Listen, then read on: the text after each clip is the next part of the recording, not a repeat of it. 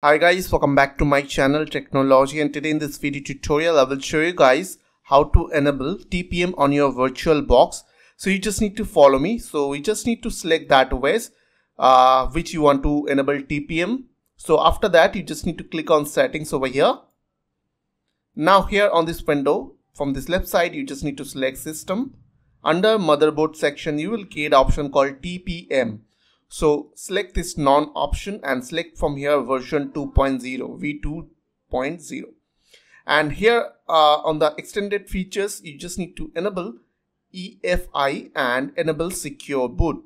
And after that click on OK. Now click on start your Windows operating system.